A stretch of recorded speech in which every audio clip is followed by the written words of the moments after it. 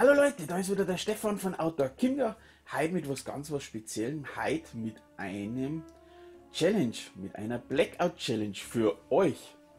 Und zwar will ich mit euch folgendes Experiment machen, ob ihr denn wirklich vorbereitet seid auf einen Blackout oder auf einen länger dauernden Stromausfall. Wir haben 170.000 Stromausfälle im Jahr.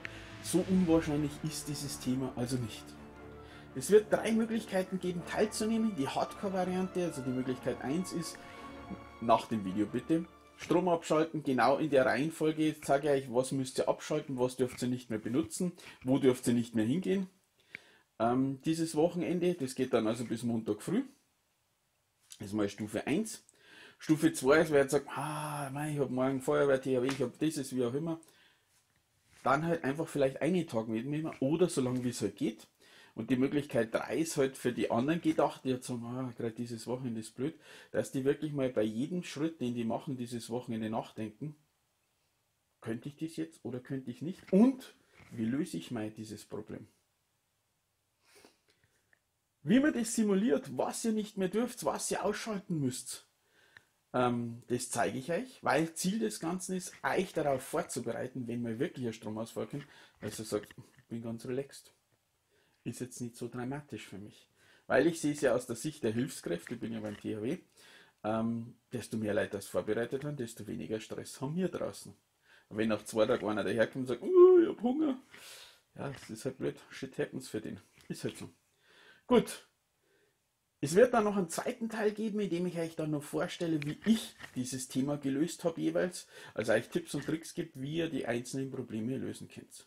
Aber wenn euch das interessiert, wie es funktioniert, wenn ihr dabei sein wollt, bleibt einfach dran.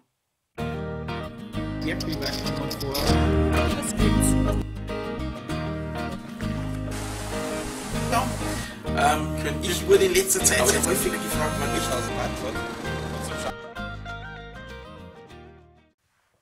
Okay, wie beginnen wir denn jetzt? Teil 1 ist, ihr druckt jetzt dann nach dem Video bitte auf den FI-Schutzschalter. Das ist eine T-Taste, die solltet ihr sowieso regelmäßig prüfen, weil das Ding ist ja euer Lebensversicherung, wenn es um Strom geht und der sollte geprüft werden, ob er auch funktioniert. wenn ihr da drauf drückt, ist das Haus finster. Es fließt kein Strom mehr. Beginnen wir mal, was wird jetzt? Das werdet ihr merken, was funktioniert. Es geht kein Licht mehr, es geht keine Heizung, der Ofen geht nicht mehr, der Kühlschrank, die Gefriertruhe, Telefon, Fritzbox, Internet ist alles weg weil geht ja nur über Fritzbox und Fritzbox läuft nicht ohne Strom. Keine Ziehautomat funktioniert in dem Moment mehr. Keine Bank, keine Tankstelle, keine Geschäfte haben wir offen. Vielleicht noch ein paar kleine Tante Emma leiten, aber die großen, ohne Registrierkassen, ohne Elektrotüren, die auf und zu gehen. Es wird sich ein Verkehrschaos in manche Städte einstellen, weil die Ampeln ja nicht mehr funktionieren. Vielleicht geht auch kein Zug mehr. Auch das könnte sein und Fernsehradio scheiden auch aus. Und jetzt kommen wir zur Challenge. Gut, also ich habe ja gesagt, Telefon geht nicht mehr, Internet geht nicht. In aller Regel funktioniert aber unser Handy noch. Das heißt, wir können das Handy nach wie vor die ersten, also in Stufe 1, nach wie vor äh, benutzen. Aufgeladen vorausgesetzt. Aufladen könnt ihr es jetzt nicht mehr, außer ihr habt zur Powerbank. Aber ihr merkt es ja selber, wenn ihr es jetzt irgendwo ansteckt, es passiert nichts mehr. Wir können, wie gesagt, nicht mehr telefonieren, man kann uns nicht mehr anrufen. Problem ist auch jetzt in dem Moment, das Handy wird stark überlastet sein, denn unsere Masten sind nicht dafür ausgelegt, dass alle Internet, alle Telefone übers Handynetz funktionieren. Ihr merkt es oft bei Großveranstaltungen, wie schwierig das ist, hier mal Internet zu bekommen. Gut, Licht geht nicht. Was solltet ihr machen? Kerzen, Taschenlampen mit Batterien, habt ihr genug da? Ofen, Campingkocher. Notfalls kann man sich ein Hobo selber bauen. Da habe ich mal ein Video dazu gemacht, wie man sich einfach aus einer Dose ein paar Löcher einbaut und schon kann ich das zum Beispiel als Spirituskocher nutzen. Dass ich hier zumindest kochen kann. Oder äh, ich habe euch ja auch schon mal dieses Video gemacht, wie man äh, Brennpaste selber macht. In einer Dose eine Kernseife und Bioethanol oder Spiritus, ist egal. Und schon kann ich das immer. Ich würde Bioethanol empfehlen, weil der für Indoor einfach besser geeignet ist. Und denkt dran, wenn Sie mit Gas kocht, sonstiges lüften. Auch wenn es kalt wird. Kühlschrank. Sollte die in die ersten fünf Stunden Teil 1 kein Problem sein. Werdet ja sagen, der wird nicht so schnell kalt. Die Gefriertruhe dürfte noch gar kein Problem sein. Tankstelle. Es gibt nichts mehr zum Tanken. Das heißt, ab jetzt ist Tankstelle gestrichen. Tja, habt ihr genug Reserve? EC-Kreditkarte funktionieren ab jetzt nicht mehr. Das heißt, die nehmen aus dem Geldbeutel raus und legen die irgendwo hin. Einkaufen. Die ganzen großen Supermärkte haben Registrierkassen, die nur noch elektronisch laufen. Ohne das machen die dicht. Habt ihr vielleicht noch einen kleinen Tante-Emma-Laden in der Nähe? Solltet ihr den vielleicht besuchen und könnt dort noch einkaufen. Wie gesagt, in die ersten fünf Stunden. Es gilt auch keine Tankstelle, weil auch die machen so, die haben auch nur Registrierkassen. Also habt ihr genug Wasser und Nahrung da zu Hause. Medikamente. Apotheken geben nichts mehr aus, sobald keine Internetverbindung mehr da ist. Also die kleinen Sachen vielleicht schon, aber die wirklich wichtigen Medikamente müssen registriert werden. Funktioniert nicht ohne Internet. Geben die nicht mehr aus. Sense. Heizung. Habt ihr Ersatzheizung? Habt Schlafsäcke? Wie auch immer. Wie wird euch warm? Lebensnotwendig Kaffeemaschine. Wie macht, also für mich zumindest, wie macht ihr euch den Kaffee warm? Habt ihr Ersatzkaffee, Pulverkaffee?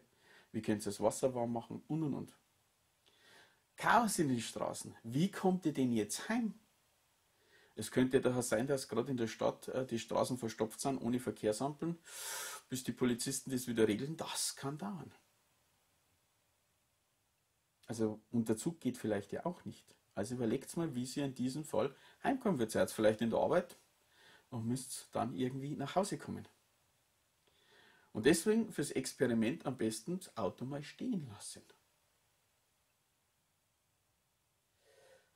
Gut, Information. Ich will ja wissen, was ist los. Habt ihr Kurbelradio oder müsst ihr euch alle halbe Stunde raus ins Auto setzen und ein Autoradio starten? Das ist auch mal ein Thema, wo man drüber nachdenken sollte. Es wäre also massive Einschränkungen, ihr habt es gesehen, Kommunikation haben wir eigentlich nur über das Handy, Informationen nur noch über irgendein Radio, Bewegungsfreiheit ist eingeschränkt und Unterhaltung. Ihr habt kein Fernsehen, ihr habt keine Playstation, ihr habt kein Internet, kein YouTube, kein nichts. Darüber nachdenken. So, wir sind noch nicht am Ende. Jetzt beginnt Teil 2. Und zwar, was passiert ab der fünften Stunde. Also nach fünf Stunden in Teil 2 schaltet das Handy jetzt auf Flugmodus, weil ihr habt kein Internet mehr, ihr habt kein Telefon mehr. Und das bleibt dort auch das ganze Wochenende. Und jetzt müsst ihr überlegen, wie kommuniziere ich mit meinem Partner? Wie Funkgeräte? Wo trifft man sich? Habt ihr einen Platz ausgemacht für sowas? Es würde jetzt auch kein Notfall mehr kommen, wenn es passiert. Bitte, wenn sowas ist, die Challenge abbrechen. Auch die Polizei, Behörden, THW, Feuerwehr stehen alle vor dem gleichen Problem. Die BOS-Funk funktionieren nicht mehr. Das heißt, es gibt noch mehr Chaos auf den Straßen. Das heißt, in Teil 2 lassen wir jetzt auch noch das Auto komplett stehen. So, und jetzt kommen wir zu Teil 3. Was passiert nach 24 Stunden? Also, wenn sie jetzt beginnt, in 24 Stunden geht es weiter. Und dann wird es richtig scheiße. Und zwar dann fällt nämlich die Trinkwasserversorgung bei fast allen aus. Also gehen wir unten in den Keller und drehen den Haupthahn zu. Und jetzt stellt sich die Frage, habt ihr genug Trinkwasser da? Habt ihr genug Brauchwasser da für die Spülung, für sonstiges?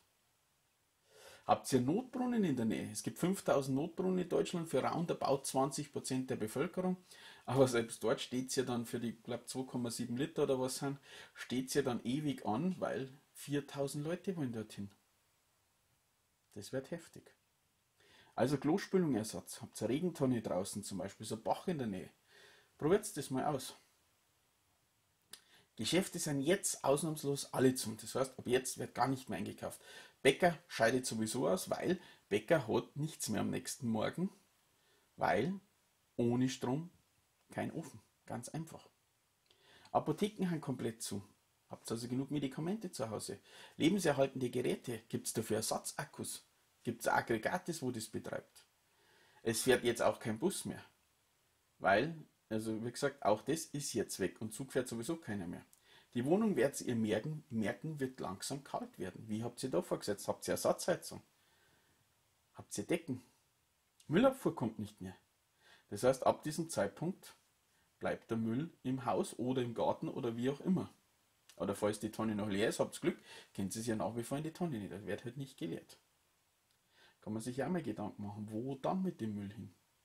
Habt noch genug Kerzen und Batterien für die Taschenlampen daheim, weil jetzt kommt dann die zweite Nacht, wo das Fenster bleibt. Ist im Kühlschrank schon alles aufgetaut? Was kann ich davon nur essen? Was kann ich nicht mehr essen? Was ist so schlecht? Was muss ich entfernen?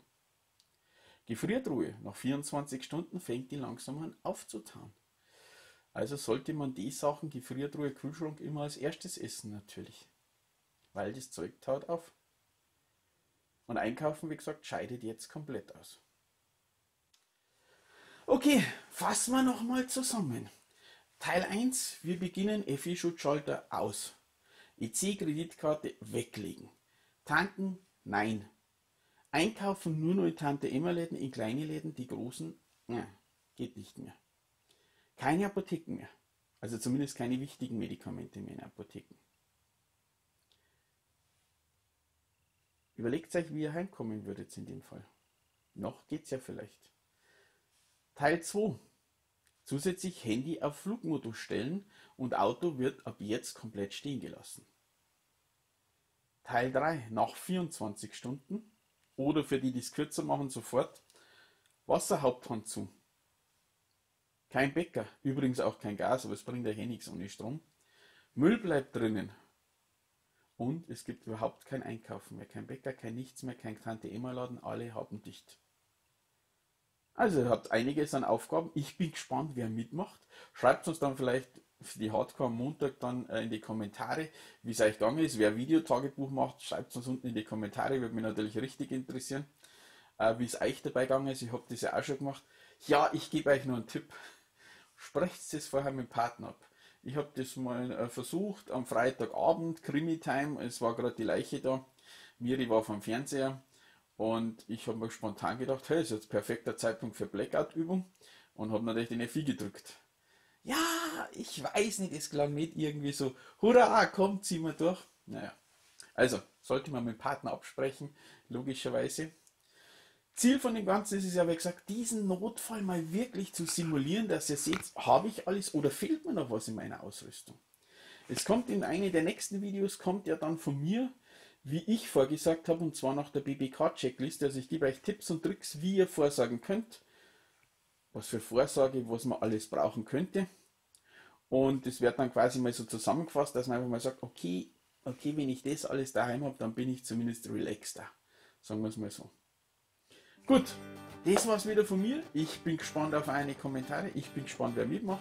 Ich habe irgendwo im Laufe des Videos auch eine, ähm, wie sagt man, Umfrage gestartet, wer mitmacht und wer nicht. Würde mich interessieren. Wenn es nicht mitmacht, schreibt es uns bitte ein. Würde mich auch interessieren. Und sollten sonst noch Fragen haben, unten in die Kommentare. Und ansonsten sage ich danke fürs Zuschauen. Viel Spaß bei der Challenge. Euer Stefan von Outdoor Kimgau.